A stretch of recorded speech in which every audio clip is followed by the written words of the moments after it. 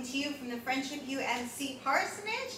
And this week, in our Taste and See book club, we are talking all about bread. So we are going to be making Andrew's 18-minute matzah.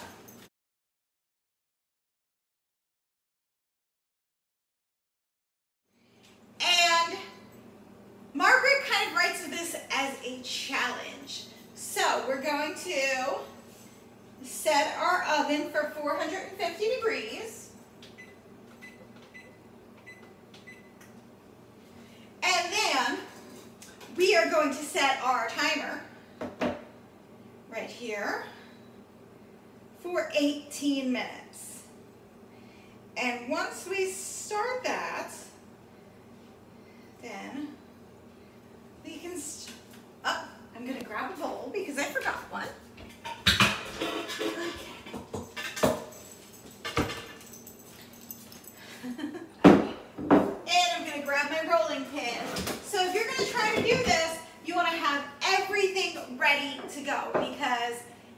once we hit start on the timer, we've gotta hustle through. We've got 18 minutes to get it start to finish.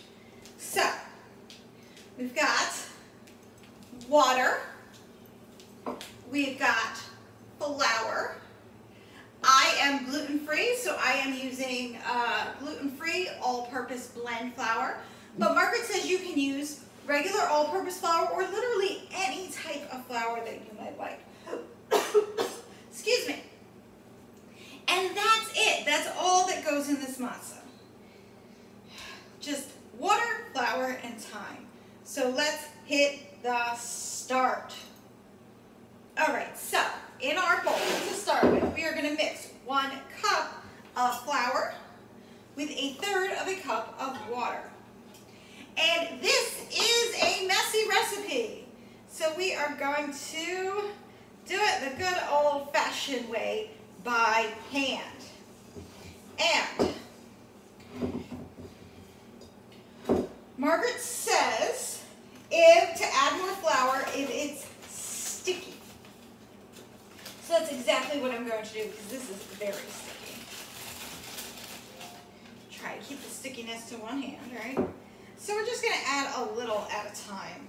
And you don't want it to be too dry because you're going to, once we've got it combined, we're going to lay it out on the table. And so that's going to require a little more flour and that means it's going to even get a little bit drier after we knead it.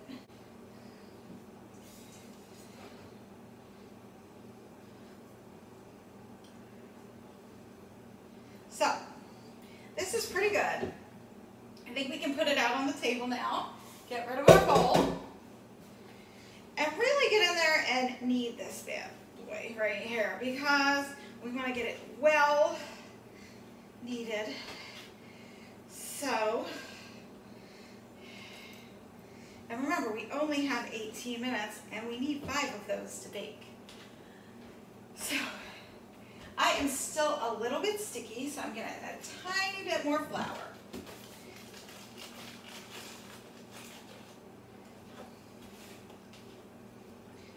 Perfect. We don't want it to stick. Now, it's good and kneaded. I would say kneading it builds up the gluten, but this is gluten-free flour. But when you're kneading it, you're building up the gluten, which is where the lovely texture and taste in bread comes from. So we're gonna get that good and kneaded to a nice ball.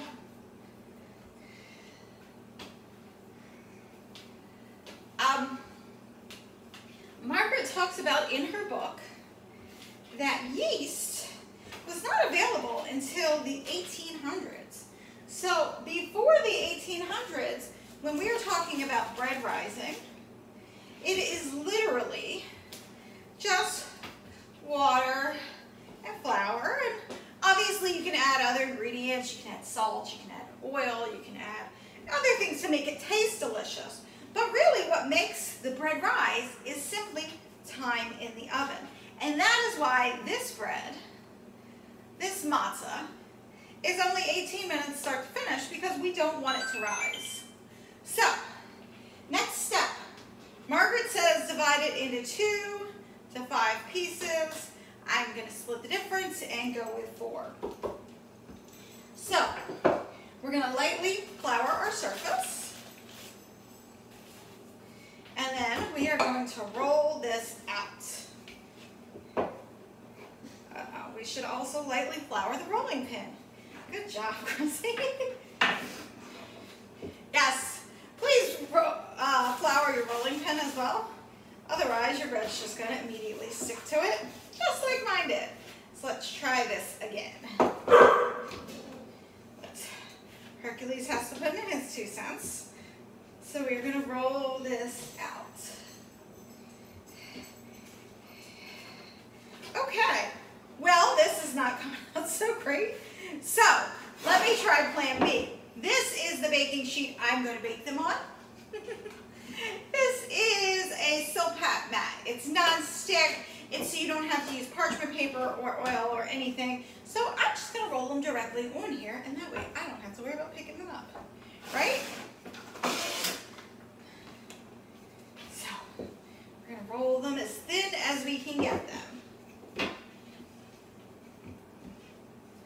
And you kind of want to make sort of shape that makes sense, something that you can use as a flatbread or a cracker.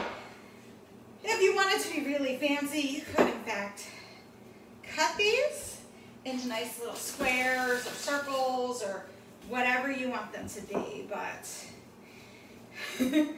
I am not quite that fancy, let's be honest. We are just struggling to get through here. All right. So let's see how we're doing on time. Okay, we've still got 12 minutes left, so we are doing great on time. Remember with each one, to put a little bit of flour on top so that it doesn't stick to your rolling pin. Like I said earlier, that's why I we don't want to do too much flour to begin with because we're going to add more as we go along. Number three. Let's get number four down the bottom maybe. All right. So, last one. Let's see if we can roll this out. Again, it's as thin as you can get it. It's going to depend on the type of flour you're using and all of that So, rolling pin done. And I'm just going to get some of this flour off my hand because it makes me crazy. Um, so, there we go. Get a towel here. Okay. So, our next step is going to be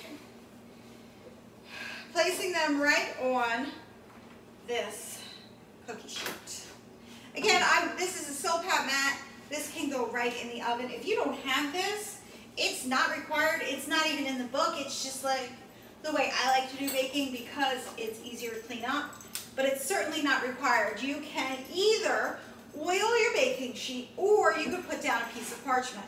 Now, the next step is the fork. And we are going to put a lot of little holes in these. And that's for a couple of reasons. The main one being that this is supposed to be unleavened bread. We are commemorating the Exodus. We are commemorating when the Israelites had to be prepared to leave at the spur of the moment. And so God told them, do not let your bread rise.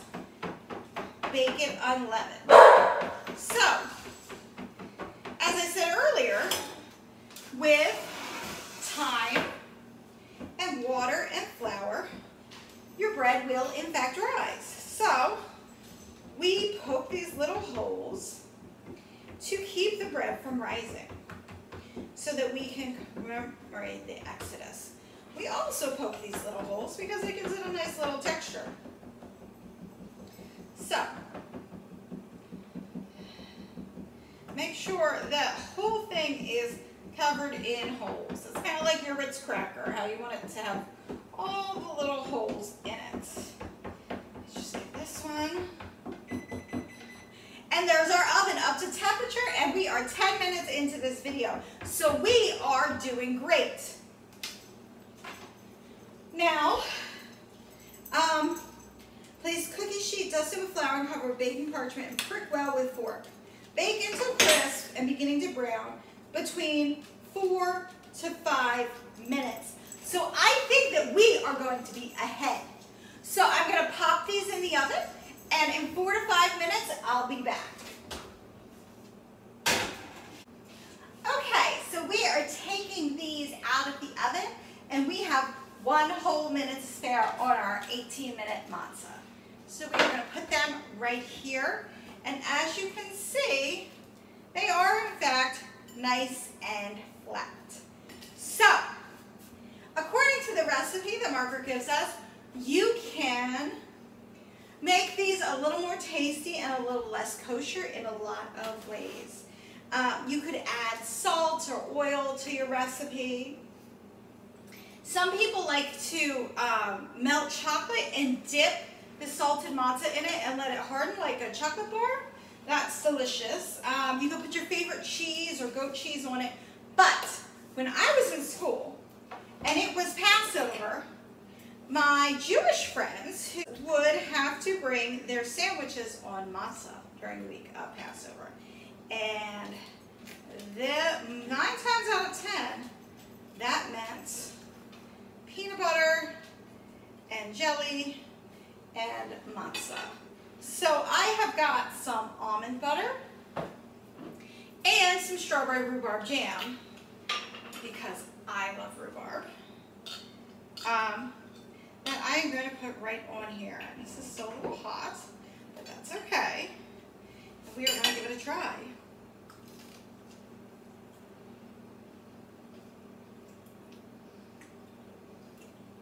Perfect. Delicious. It's nice and flat and crispy. You may want to add salt to give it a little more flavor. But really, it is very good. So, I would encourage all of you, give the 18 minute matzo challenge a try. And don't forget to join us tonight, either in the parlor at church or on Zoom as we discuss a loaf of bread fresh out of the oven in our book club. Thanks for joining me and I will see you in church.